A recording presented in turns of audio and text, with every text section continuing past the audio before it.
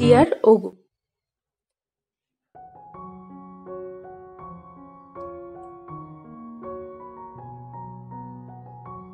আজ কত বছর হয়ে গেল তোমাকে কোনো চিঠি লেখা হয় না। তাই ভাবলাম আজকে একটা চিঠি লিখি বড়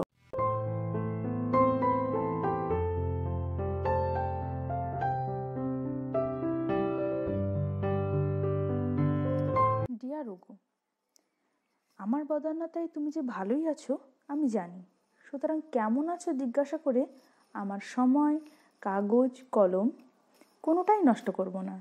আর যদি তুমি বলো তুমি ভালো নেই, সেটাও আমি মানব না। কারণ ওই যে তোমার স্ফীত মধ্যাদেশ, ওটাই প্রমাণ করছে যে আমার কারণে তুমি বেশ ভালোই আছো।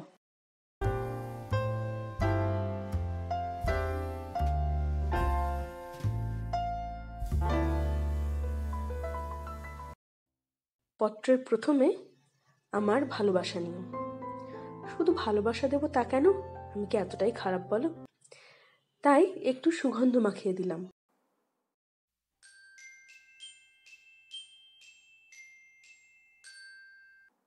ও, সুগন্ধির কথাই মনে পড়েছে। তুমি বাড়ি ফেরার পথে একটু ধূপ নিয়ে আসবে, কেমন? শোনো, যা তা ধূপ আনবে না। একেবারে একশো কাঠি আর দেখো গন্ধটা যেন মিষ্টি হয়।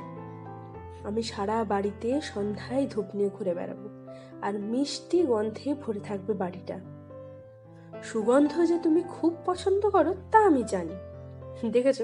আজকাল বড় ভুলো মন হয়েছে। হাঁটাহাঁটির জন্য একটা নরম জুতো কিনবো।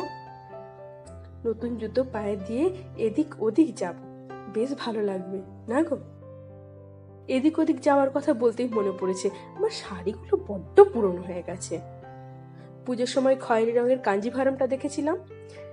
যেটা তোমার খুব পছন্দ হয়েছিল, ভাবছি ওটা নেব। দেখেছ? আমি এখনও তোমার ভালো লাগা, মন্দ লাগাকে কত গুরুত্ব দিই?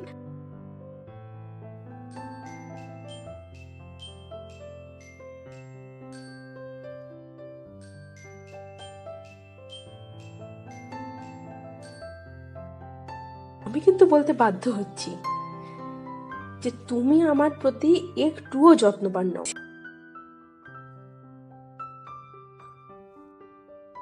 এই যে গত বিবাহ বার্ষিকীতে বলেছিলে আমরা সবাই মিলে কন্যাকুমারী যাব, কিন্তু কবে যাবে সে কথা বলনি আজও।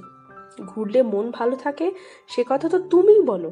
যাই হোক, এবার আর দেশে নয়, বুঝলে? একবারে বিদেশে গিয়ে স্বাদ মেটাবো। আজ এটুকুই থাক বাকি কথা বাড়ি ফিরে হবে। ভালো করে হিসেব নিকেশটাও তো বুঝে নিতে হবে, বলো। ইতি তোমার ইহকাল।